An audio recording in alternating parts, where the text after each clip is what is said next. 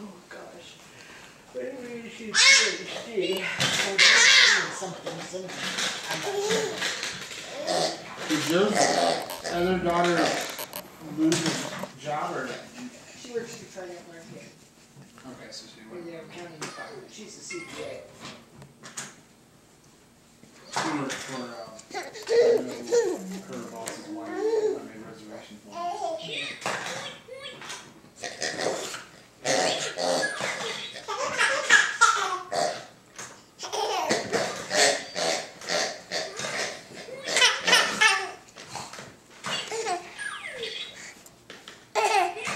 Did you take to college yet? Nick? Yeah. I don't know. Who won the award, the scholarship? Um, little gal from North Moore. She really Was Joe Cool? Olivia, got can you say hi to me? Can you say hi Stop, for so me? I think they gave her the main one and then a couple others five hundred dollars. Can you wave? I think he got a five hundred dollars. Can you wave? He didn't get the main one, but,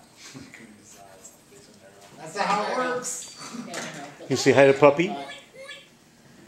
paying the dues this year. I'm. Who's the president? That's the secret.